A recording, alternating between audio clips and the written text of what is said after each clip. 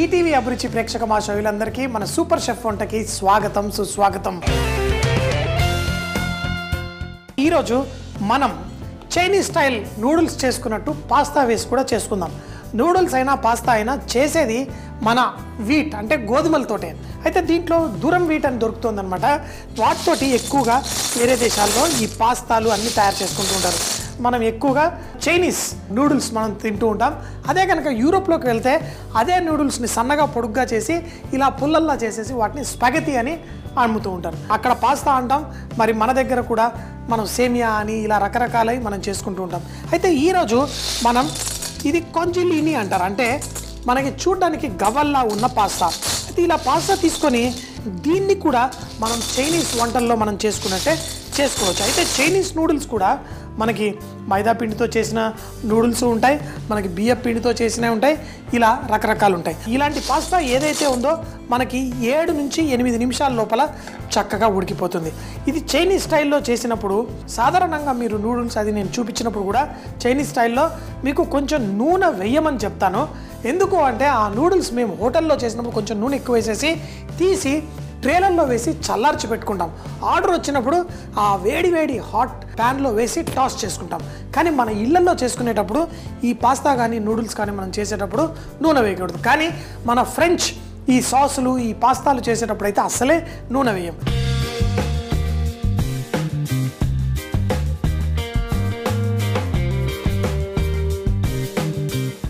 వేడి నీళ్ళు ఉడుకుతూ ఉన్నాయి. ఇందులో ఈ పాస్తా ఇందులో వేసేస్తాం. చెప్పాను కదా గవ్వల్ లాంటి పాస్తా. చక్కగా మనకి ఏడు నిమిషాల్లో కుక్ అయిపోతుంది. ఏడు నిమిషాల్లో మనం కూరగాయలు కూడా కట్ చేసుకుందాం. ఈ గవ్వలు కొంచెం మీడియం సైజులో ఉంటాయి కదా దానికి తగ్గట్టే ఈ క్యారెట్ని కూడా లేత క్యారెట్లు తీసుకొని వాటిని ఇలా రౌండ్స్ కట్ చేసుకొని వేసుకుంటే మనకు తినేటప్పుడు చక్కగా బాగుంటుంది. అయితే మనం స్పగతి నూడిల్స్ తోటి అయితే నేను సన్నగా పుల్లలు పుల్లల్లా కట్ చేస్తాను. కానీ ఇలాంటి వేరే వేరే పాస్తాలతో చేసుకున్నప్పుడు చక్కగా. కానీ ఈరోజు నేను ఎప్పుడు చేసే రెసిపీ లాగే చాలా సింపుల్గా తయారు చేస్తాను. సింపుల్ సోయా సాసు కొంచెం చిల్లీ సాసు మనం కెచ్చప్ వేసి చేసుకున్నట్టుగానే పాస్తాని కూడా మనం చక్కగా చేసి తినొచ్చు. ఈ కూరగాయలు మీరు ఇందులో కావాలంటే కోడిగుడ్డు అన్నీ వేసి చేసుకోవచ్చు. ఇలా క్యారెట్ కట్ చేసుకున్నప్పుడు ఉల్లిపాయల్ని కూడా మీరు ఆ పుల్లలు పుల్లల్లా కాకుండా ఈ విధంగా కొంచెం ఈ స్టైల్లో కట్ చేసేసి వేసేసుకుందాం. ఇది మన నూనెలో పడగానే ఇది చిన్న చిన్న ముక్కలుగా అయిపోతుంది. ఇలా కట్ చేసుకొని కొంచెం మీడియం సైజులో కట్ చేసుకుంటే సరిపోతుంది ఈ మాత్రం. మరి బీన్స్ని అయితే మనం పెద్దగా కట్ చేయలేం కదా? దీన్ని మాత్రం కొంచెం చిన్నగా కట్ చేసుకుంటాం. కూరగాయలు ఒక సైజు ఉన్నవి ఒకసారి వేసి మనం కుక్ చేసుకోవాలి. కానీ చిన్నగా కట్ చేసుకున్నప్పుడు ఇవి మనం కొంచెం లాస్ట్లో వేసుకోవాలి. ఆ క్యారెట్ అది కుక్ అయిన తర్వాతే మనం ఈ బీన్స్ వేసుకుంటాను.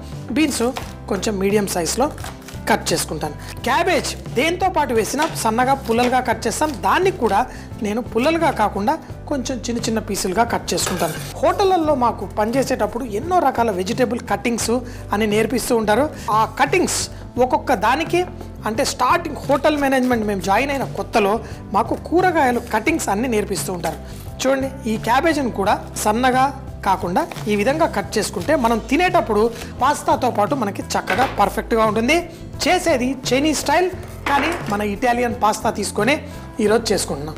దీన్ని ఆల్ దాంతే అంటే మరీ ఓవర్గా కుక్ అయిపోయింది అనుకోండి బాగోదు. సో ఇంకా కొంచెం కుక్ అవ్వాలి. దీన్ని కుక్ అయిన తర్వాత తీసేసి మనం ఇందులో వేసుకుందాం. ఈ లోపల ఇది రెడీ అయ్యే టైంకి మనం ఈ మిశ్రమం కూడా రెడీ చేసుకుంటే టక్కని తీసి వేడివేడిగా వేసుకొని టాస్ చేసుకొని ఇట్టే తినేయచ్చు. ఇంట్లో రెండు పొయ్యిలు ఉన్నాయంటే రెండు ఒకే టైంలో కుక్ యూస్ చేసుకొని ఫ్రెష్గా తింటే సూపర్గా టేస్టీగా ఉంటుంది. ఇక్కడ మా గవ్వల పాస్తా రెడీ అవుతుంది. ఇటు పక్క కూరగాయలు ఉన్నాయి.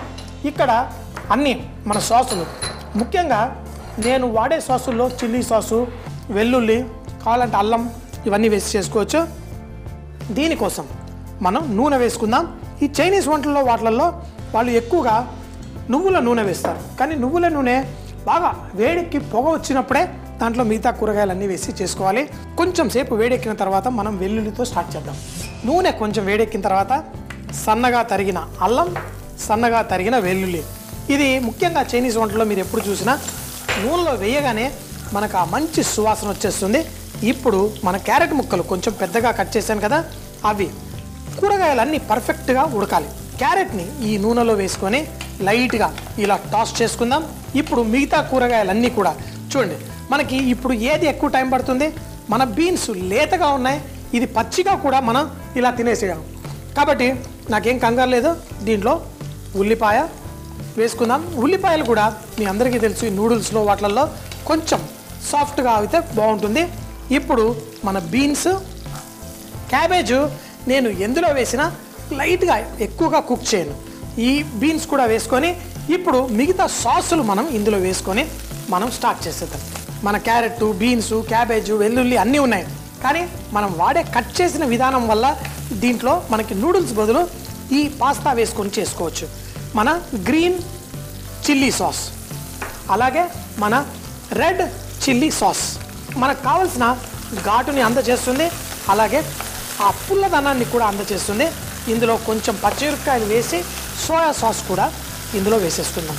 ఇప్పుడు ఏడు నిమిషాలు అయిపోయింది. ఈ పాస్తా కూడా రెడీ అయిపోతుంది. ఇందులో మనం టమాటో కెచ్చప్ కొంచెం వెనిగర్ పంచదార ఇందులో క్యాబేజ్ వేసి లైట్గా దీన్ని టాస్ చేసుకున్నాం మనకి చిన్న కడాయిల్లో కూడా మనం చేసేసుకోవచ్చు. దీనికి కావాల్సిన టేస్ట్ వస్తుంది.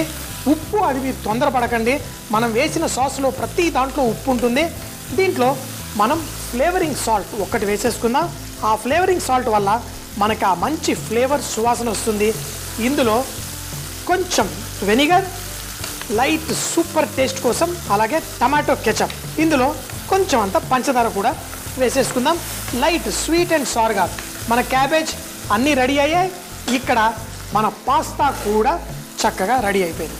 చెప్పాను కదా ఈ పాస్తాలో ఎందుకంటే గవ్వలు కదా దీంట్లో నీళ్ళు అన్నీ ఇలా ఉండిపోతాయి దాన్ని తీసేద్దాం ఇలా వేసేసుకుందాం.